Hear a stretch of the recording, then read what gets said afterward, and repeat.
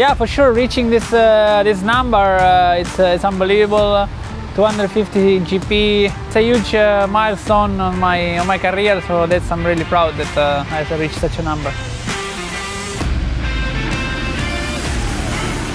To keep up the motivation and the passion to ride, it's, it's not easy, but uh, like I said, always uh, for me riding is, uh, is, is happiness and it's, uh, it's pure adrenaline. So every time I still feel this, uh, uh, every, I will go on.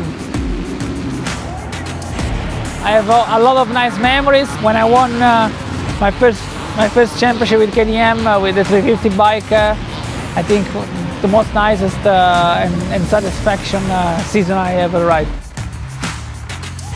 The, the, mentality of KTM is always a mentality that they want to win every time they are on track, and this is also what what's for me really important also. So uh, the ready to race mentality is what we have in common also with KTM, myself and also the brand. So this works for both of us really on a, on a good way.